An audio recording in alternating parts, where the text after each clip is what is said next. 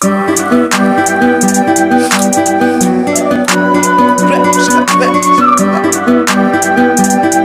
feelings, no feelings. Freestyle Entertainment.